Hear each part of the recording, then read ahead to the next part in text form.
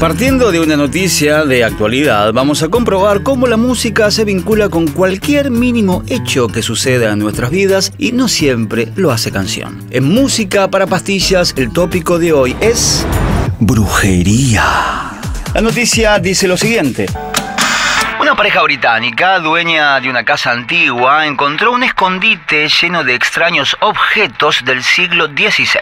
Kerry Jackson y su esposo estaban renovando el viejo edificio cuando descubrieron un bulto metido en un lugar vacío debajo de la escalera. Al abrir el escondite hallaron zapatos, cráneos de animales, cañones de armas y algo parecido a los restos de un sombrero. Profesionales confirmaron que esos objetos se utilizaron en el pasado para rituales de brujería.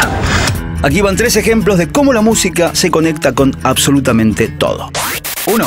Uno. Uno.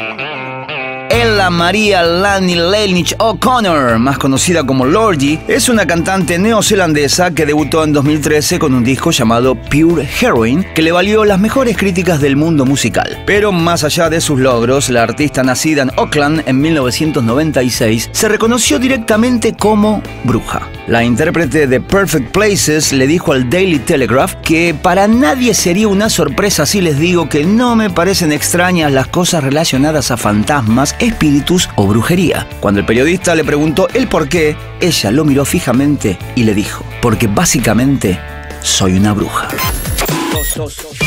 Jimmy Page, uno de los personajes emblemáticos de Led Zeppelin y de la historia del rock, era conocido por su extraña afición al ocultismo y sus lecturas sobre Aleister Crowley, un alquimista y mago misterioso de principios de siglo, líder de una secta satánica. Cuenta la historia que el interés de Jimmy por este personaje era tal que llegó a comprar el castillo que habitó Crowley con el fin de que Page fuera un satanista. Si bien Jimmy Page negó toda esta acusación, Led Zeppelin viviría sucesos extraños entre 1975 y 1980, incluyendo accidentes y la muerte de Karak, el pequeño hijo de Robert Plant.